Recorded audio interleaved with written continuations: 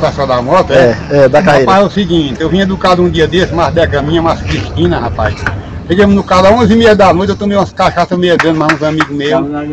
Aí subi uma serra, quando subi uma serra, digo, Deca, o que essa moto pedir, pode botar. Deu o que ela pedir, para não chegar em Moriante nesse tanque, eu tô vexado.